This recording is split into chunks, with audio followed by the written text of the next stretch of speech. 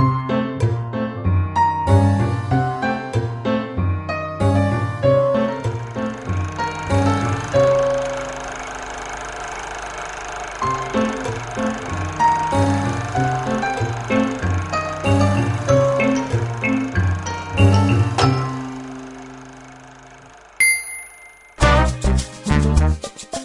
Znajdujemy się na Meksyku, tym dawnym, słynnym osiedlu budowniczych Nowej Huty, którzy z małych wiosek, miasteczek przyjechali tu szukać swojego szczęścia i tu swoje szczęście znaleźli właśnie w tych pięknych barakach. Tych baraków było murowanych cztery, a dodatkowo jeszcze 4 tysiące ludzi, który, którzy mieszkali tutaj na Meksyku, zamieszkiwało 38 drewnianych baraków. Więc można było sobie wyobrazić, jaki tutaj był bałagan i rzeczywiście tutaj można powiedzieć, że władza ludowa nie sięgała.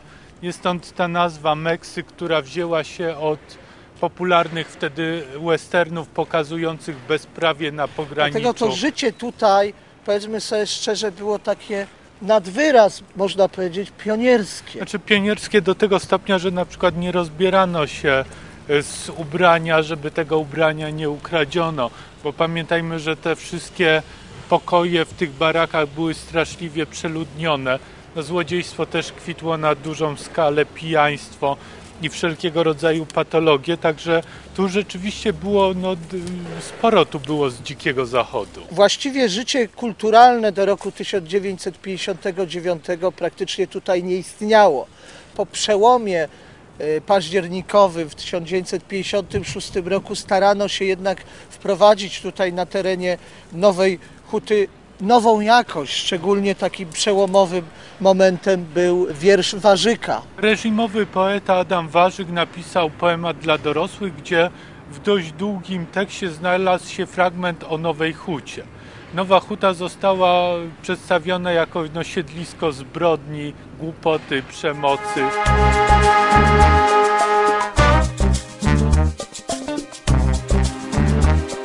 Właściwie ten Meksyk po raz pierwszy został tak dokładniej opisany w tym reportażu Warzyka.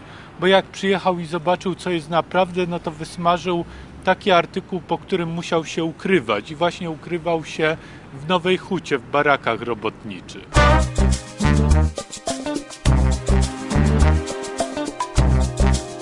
Te niewielkie pozostałości po Meksyku, no właściwie dzisiaj już są zabytkiem. Ponieważ lubimy i kochamy y, murowywać różne tablice, można by umieścić tutaj informację, że właśnie w tym miejscu tutaj był ten hotel robotniczy, może bez gadania o tym, co rzeczywiście tu się działo, bo to, co się działo zawsze, dzieje się i teraz w różnych miejscach, w różnych częściach świata. Natomiast no, trudno to traktować jako zabytek. Zabytek czego? Architektury, może pewnych przemian społecznych, zniewolenia człowieka przez tamtejszy system. Tak jak na przykład uczczono w znakomity sposób, co mnie zresztą rozbawia i ciebie Macieju też, Tadeusza Kościuszkę wmurowując mu tablicę na stacji, Stacji benzynowej benzynowej. w Pleszowie. Zawsze chciałam. Nie wiem czemu. Czekałam tylko na 18 lat. Zawsze chciałam jakoś pomóc.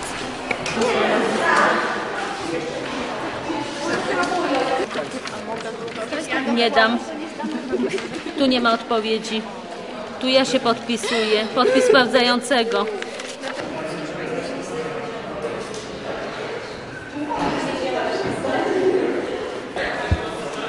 Wyjmij rękę, bo ja się, ja się boję. Co ty? Ja się boję igieł.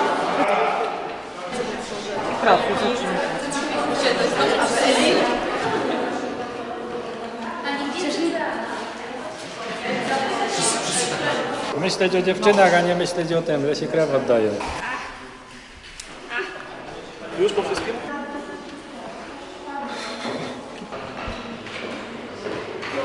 Muszę sobie e, wypić wodę, bo mam za gęstą krew. A jest strasznie dużo, dzisiaj dużo ludzi jest do oddawania.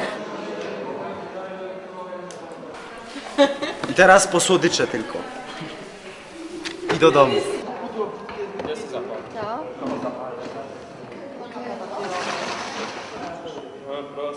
Staje, Baczność! Spocznij! Dziś witamy w naszych szeregach dwóch nowych członków, którzy przeszli szereg trudnych, ciężkich szkoleń, a szczególnie testów psychologicznych. Panowie, pamiętajcie, jesteśmy samodzielny pododdział Airsoftowo-Paramilitarny Kraków. Mimo iż nie jesteśmy związani z policją, to nasze działania muszą być i są w pełni profesjonalne. Awaria! Gotów? Góra! Dół! Góra! Dół! Dobra, Marcin! Idźcie już!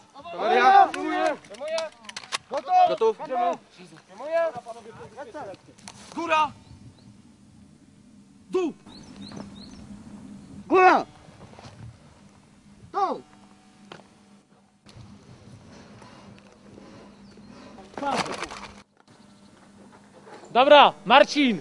korytarz! Trzyma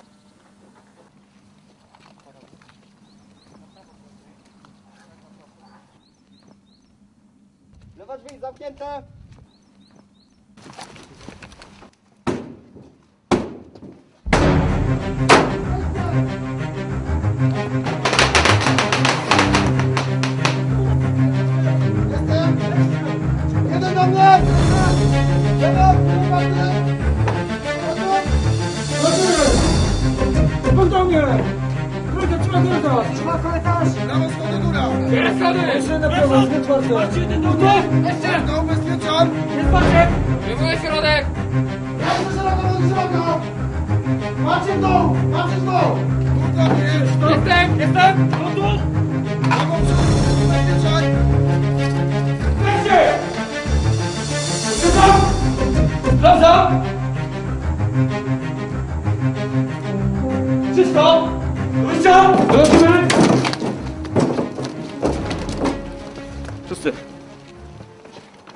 Jeszcze raz to samo, dawać.